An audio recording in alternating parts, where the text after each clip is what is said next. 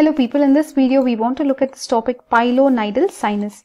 Pilo is referring to hair, nidus is more like a focal point and sinus you know is this uh, tract, right, elongated tract. Like this is a sinus tract, right, and inside it there is pus and inside it there is hair. So pilonidal sinus. So basically uh, in um, uh, men who drive jeep, right, black men especially, hairy men, what can happen the hair will get dislodged okay whenever it is coming out right? And it will poke the sebaceous gland opening right?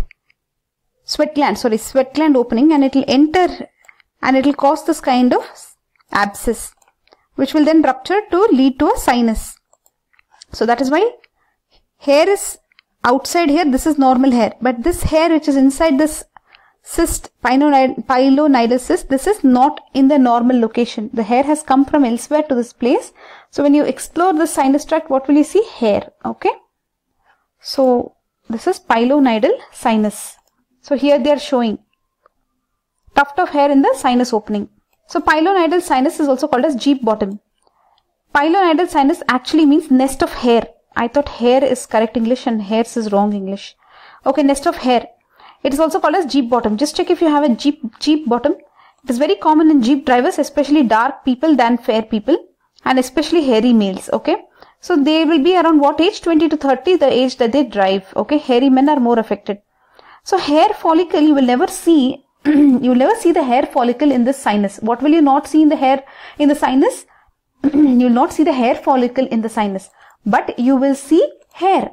That is what is uh, strange hair follicle is not demonstrated. You cannot demonstrate hair follicle, but you can demonstrate hair inside the pilonidal sinus. From where is the hair coming from? Around the uh, sweat gland, right? So basically hair accumulates due to vibration and friction which causes the shedding of the hair. This hair will accumulate in the gluteal cleft. So it will go and get stuck between your two, two buttocks, right? The hair and then it will enter the sweat gland.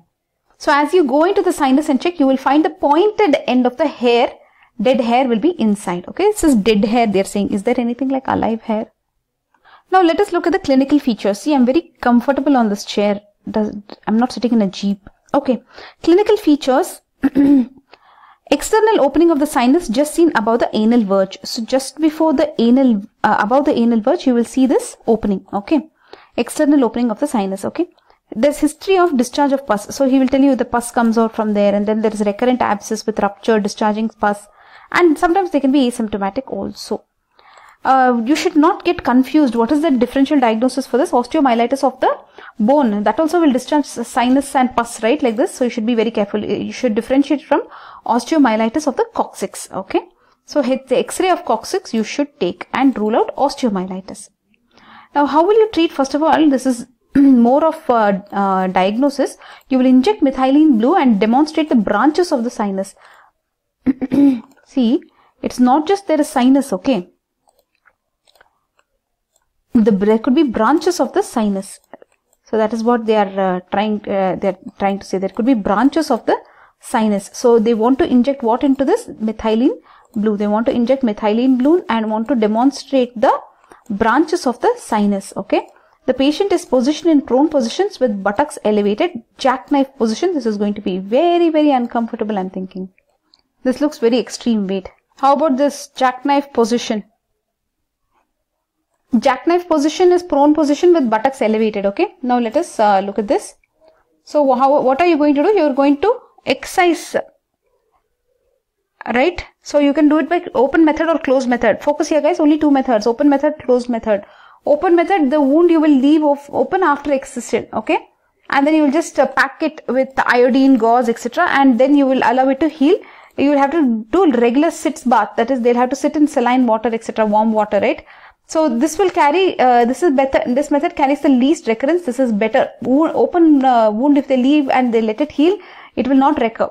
But closed method if you close it by z plasty etc there is chance of recurrence will be more okay and in this they'll have to give a rhomboid flap Limberg flap uh, can be raised to close the defect so flap means what a skin uh, piece of skin with its own blood vessel that is a flap isn't it so let's draw a flap here So you will close the wound with what? A flap. This flap of skin comes with own, its own blood vessel which you'll have to anastomose to the blood vessel at the recipient site. So this way what you will do, you will close the wound, right, with skin flap or this is a closed wound, but in this recurrence can occur, okay.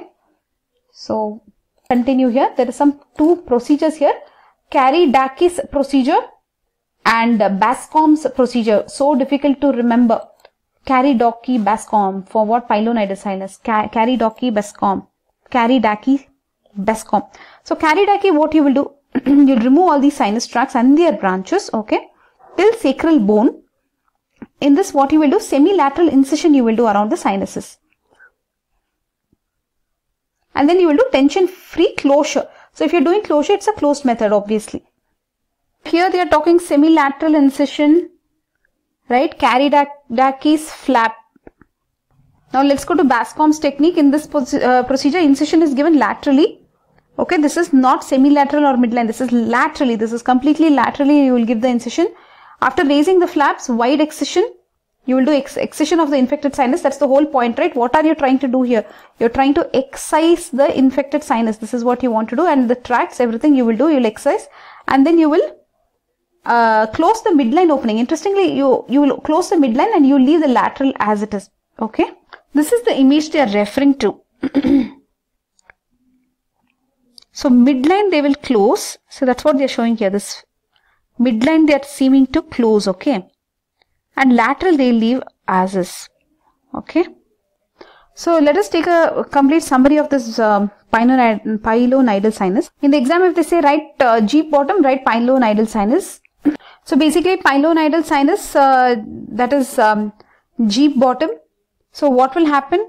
In uh, black Jeep drivers, male uh, 20 to 30 years who have a lot of hair, when uh, this hair around them, right, they will get dislodged around this gluteal region and they will come into this gluteal cleft and they will enter the sweat gland, okay?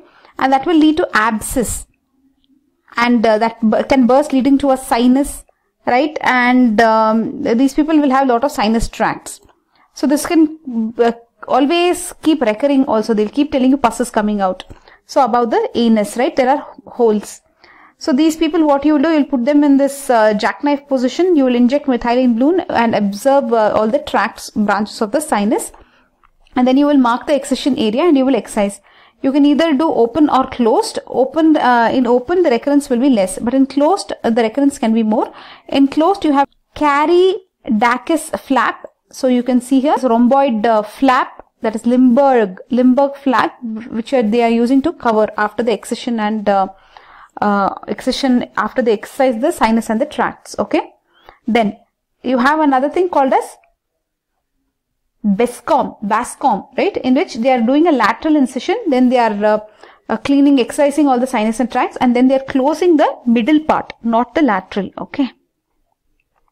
Midline part they are closing here with the flap you can see here. Interestingly, this pilonidal sinus is not only the midline or over the coccyx, it can happen in the umbilicus and interdigits in barbers. In barbers also this can happen between the digits because they are always uh, cutting hair and the hair can get between the fingers okay